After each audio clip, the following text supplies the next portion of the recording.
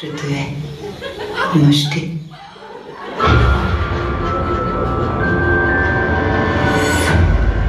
Eh bien, eh bien. Je dois moi aussi offrir un cadeau à